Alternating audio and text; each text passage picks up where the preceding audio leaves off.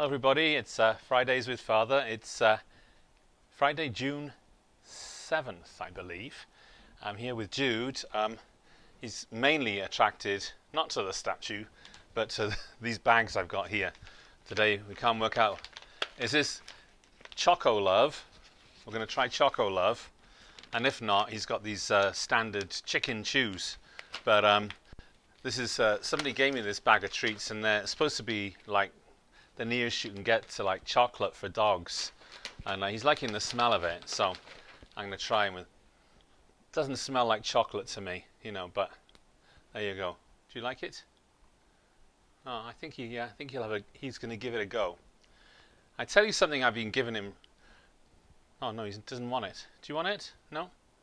Something I've given him recently is cherries. Yeah, not with the stones. I have to remove the stones but actually he likes the occasional cherry.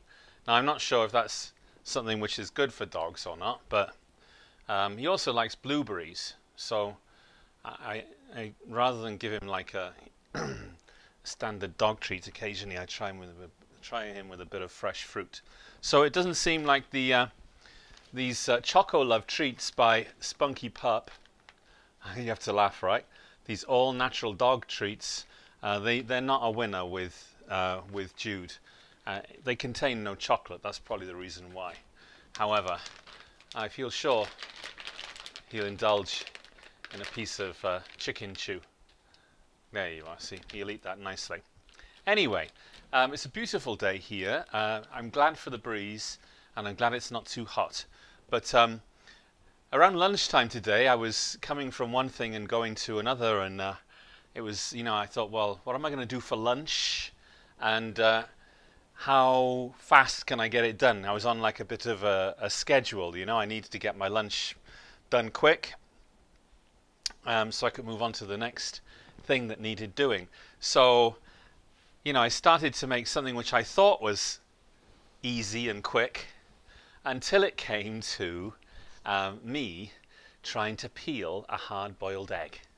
Yeah, I was so frustrated.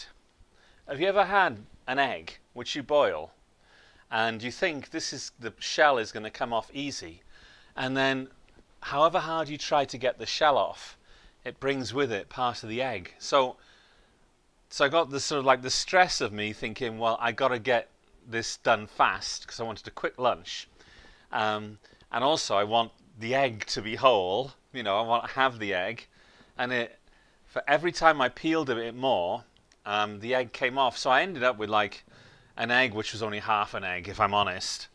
And um, and I was thinking to myself, I was getting so frustrated because I couldn't peel an egg. And, and I thought to myself, there must be, and I'm sure somebody out there has the perfect way to peel the perfect egg and everything is wonderful. Because I'm not sure, is, is it to do with freshness of the egg, or how you cook the egg, or whether you do it cold or hot, or etc. etc. But I've no idea. All I know is that it was uh, it was a trigger for me today. it was a trigger for me today. And so anyway, I afterwards, you know, after I'd had my my my lunch, which was you know devoid of a hard-boiled egg because the egg was ruined, uh, I sat and I thought to myself, well, you know. You were stressing over the peeling of an egg. Now, really, you know, life's too short to be stressing over the peeling of an egg. And, and what does it matter if you took a bit longer to peel the egg anyway? So these little kind of like trigger things, little things that stress me out, I thought, you know, this is this is crazy. You know, you don't need to be doing this. Um, Jude is distracting me now because I think he's taken to the Choco Choco Love um, treats. He's going to give it a go anyway. Um, so that was me trying to peel an egg, and I don't know. And I have no idea.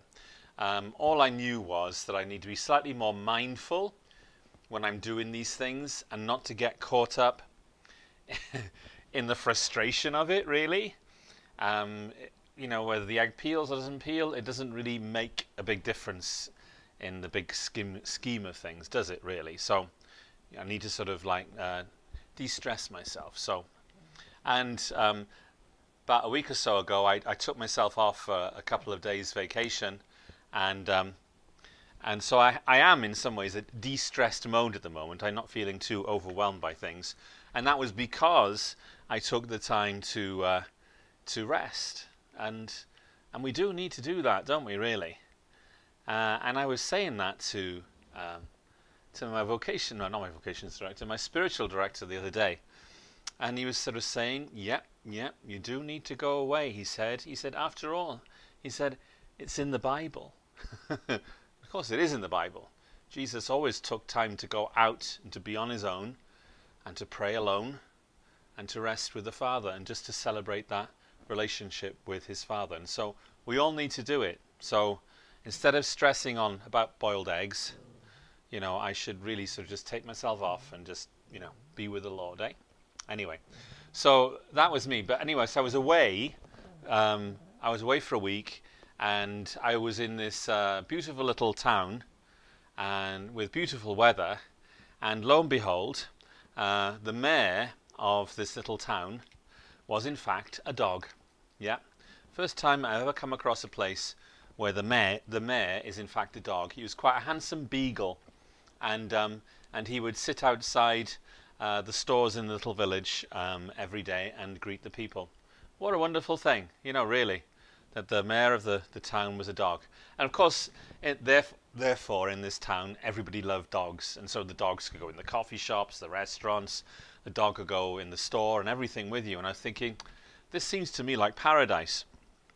And I didn't even have Jude with me. So I will have to go back and visit and take Jude with me so he can enjoy um, these freedoms of being able to go wherever he likes and everybody loving him. Right, Jude?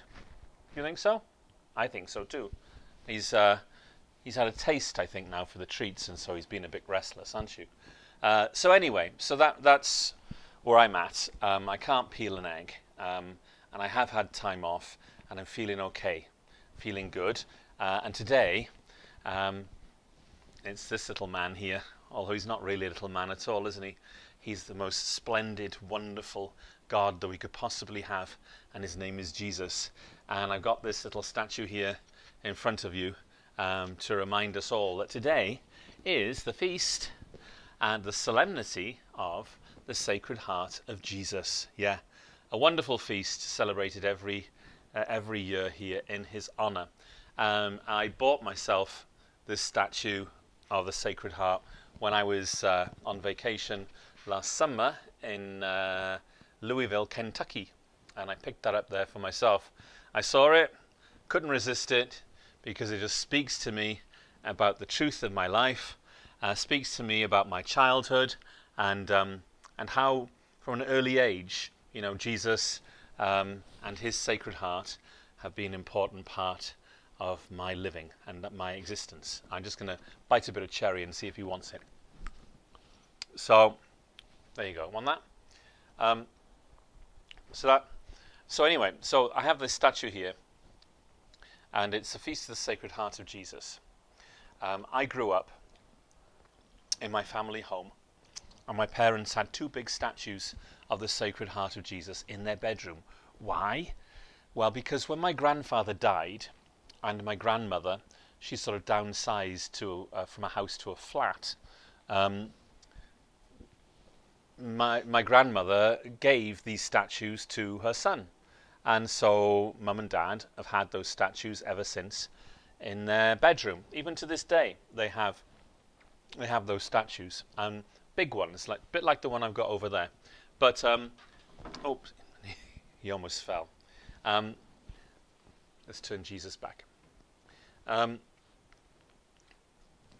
and so, in some ways, this oh, you know, he the image of Jesus there, bearing his heart to you, a heart which is full of life and full of love, a heart which burns for you, um, really um, was a very teaching kind of presence in my life from an early, early age. So I've grown up with the Sacred Heart in the same way many of you have too, you know, and I think it's important to acknowledge that. Why do we celebrate the Sacred Heart of Jesus? Um, the the quick answer is because he gave his life for us on the cross, and he would do that time and time again. That's the kind of God that we have. Um, but the devotion to the Sacred Heart of Jesus, you know, it kind of grew over the years um, because there are certain saints, one of them being St. Margaret Mary, um, who had visions of Jesus uh, in this way, in this appearance, with his heart burning for love of people. And him sending the message that his is a heart which has got enough love for everybody, it burns for you, um, and he wants that in return that we should love him back. A simple message, really. So over the centuries, you know, um, different saints have seen Jesus in this way, and so a devotion to the Sacred Heart of Jesus has um, has grown in the church over many many centuries, and is still present with us to this very day. So the fact that I could buy this image of Jesus in Louisville, Kentucky, which is not a particularly Catholic part of the world, um, is a sign, you know, really that that Jesus and His heart is present for all.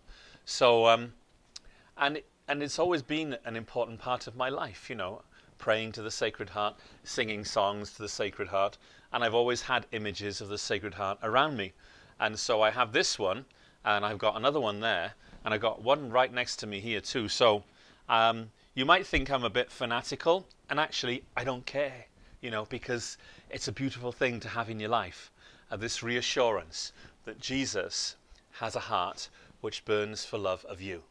And the only thing that He's asking, the only thing He asks of us, or hopes, is that our hearts might burn for love of Him one day, you know. You see, for Him, who is pure love, um, it's easy to love all of us all of the time, in spite of our faults and our failings. But for us, who are a bit broken and a bit selfish, you know, really, um, it's hard to love back in the same way. But, but to be able to pray about that and to be able to ask Him to show us how and to ask Him to give us a heart like His is a very, very beautiful thing to do.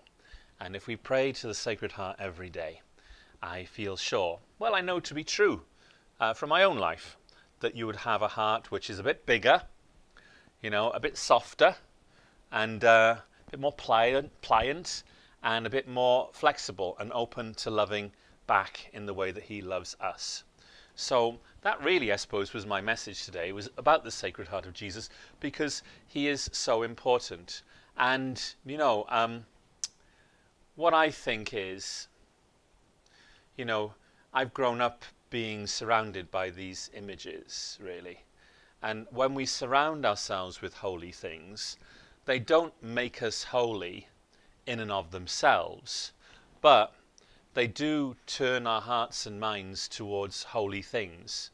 And so there is the possibility that we can become holy. So by having these images of Jesus around us, they turn your heart in a direction which is more towards Him and less towards me or towards some other unholy thing. Conversely, of course, if we surround ourselves um, by things that are unholy, those unholy things will not make us unholy in and of themselves. However, they turn our hearts towards unholy things. And that's a dangerous place to be in, you know, because if we turn ourselves towards evil, then little by little we become more disposed to doing evil. So do not discard the influence of religious art and religious images in our lives and the influence they can have on our imagination and on our prayer. As I said earlier, Jesus has a heart which burns for love of you. And the only thing he wants is that your heart might burn for love of him. And my hope is that one day all of us may have a heart which loves him back, you know, even if just a little bit, you know. So um, expose yourself to the Blessed Sacrament. Um, expose yourself to Jesus. Expose yourself to his heart. The best way to learn how to love in the way that Jesus loves us is by sitting in his presence. And this evening at um, St. Gregory of Nyssa, in the Marcelline campus at 6.30. We have one hour of just sitting before Jesus and just allowing him to show us how to love and allowing him to put in us a heart which is more more open to loving.